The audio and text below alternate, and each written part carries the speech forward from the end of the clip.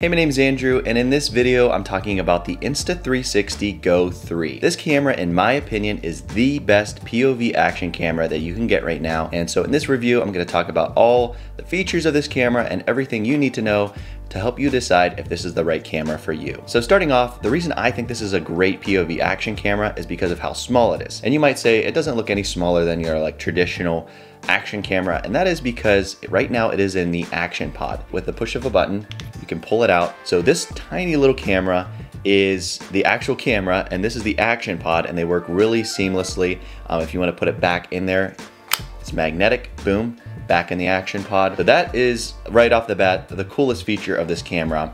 But let's talk about all the buttons and things on this camera. So on the top, you have a record button. On the side, you have a power button. You hold that down to power the camera on you have a Q button, which if you're gonna be using this like say skiing somewhere where you can't navigate on the back of the touchscreen, you can use this Q button to navigate the different settings.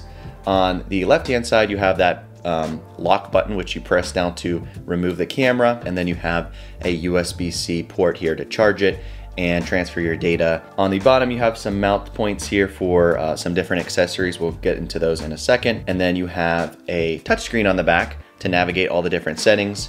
And that touchscreen is also a flip up screen. So if you were gonna do any vlogging, put it on a selfie stick and go down the ski slopes, that little flip up screen is super handy. So that is basically everything on the camera itself. The action pod is not waterproof, but the camera itself is waterproof. That's super cool that you could like just take this little action camera, and jump in a lake and it's not gonna get ruined. Of course, you don't wanna do that with the action pod. That is not waterproof. So let's talk about how the camera works. You obviously hold down the power button on the side. It takes it a second because it does have to pair to that actual camera.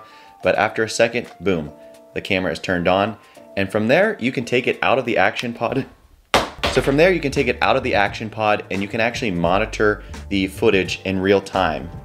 So there's lots of different features and uh, settings that you can tweak to make it look the way you want it to. For my kind of videos, I do like walk around street photography videos, and I'll be showing some sample footage throughout this review so you can see what that looks like. But yeah, basically that is how the camera works. It's super easy. You hit the power button, you hit record, you're good to go. Now let's talk about the accessories that come with this camera. Some accessories that come with cameras are kind of like gimmicks, like you don't really end up using them, but all three of these accessories are super helpful and work really well with the camera.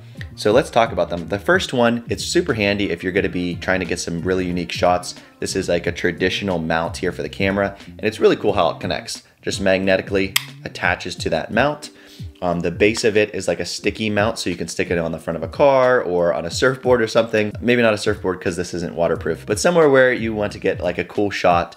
And this is like kind of like a traditional mount here. And um, this actually unscrews on the bottom, so you can connect this to like a selfie stick. So if you're gonna be doing any kind of like selfie shots, this is the uh, accessory you want, you want to use. And like I said, it just kind of magnetizes to it real quick and easy. And then you pull the tabs on both sides and release the action pod. Now the next accessory is this little pendant necklace thing. And what this is, is a accessory that you put on the inside of your shirt and then on the inside of my shirt, it's right there. And then boom, it just magnetizes to it so I can get like a chest POV angle. And the third accessory, which is the one I use all the time, this is like my favorite accessory, hands down, is a hat attachment. So that basically clips onto the top of a hat. And then you take the action pod, magnetizes boom right in there and then you can adjust the angle of it. So that is super handy that it just clips on there. It's lightweight and like you can kind of tell it's there, but it's not like in your face. It's not super annoying. And so when I'm out in public, I don't really like people seeing that I'm filming. It's kind of awkward. So this is great for some shy videographers that really want to get that shot, but don't really want to draw a lot of attention to themselves. So like I said, boom, clip it up there. I can monitor it, make sure that the framing is right.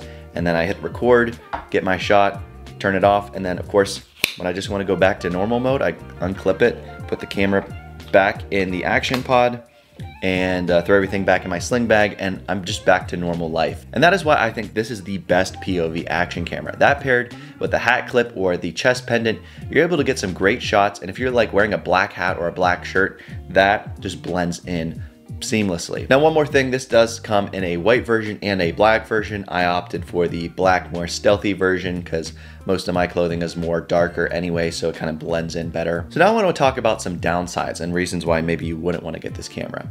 Now, Number one, it's it's a little pricey. Coming in at $350, you can find maybe a used or refurbished one for a little less, but close to $300 for an action camera is on, you know, the pricier end of things, but I think the value is well worth it. I have used it for quite a few videos on this channel already, and you can go check those out if you want to see what it looks like. Number two, I kind of would expect this with a smaller camera, but the battery life isn't incredible. Sometimes when I'm out using the, the camera, um, I come to the point where I just have to cut the video because I'm running out of battery life.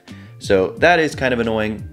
But again, it's something that I would expect from having a small camera is just a smaller battery and less battery life. But without question, the build quality and everything about this camera is super nice. Definitely recommend checking it out. I'll leave a link in the description if you want to. But that is it for this video. If you have enjoyed, hit the like button. If you have any comments or questions at all, leave those in the comment section below.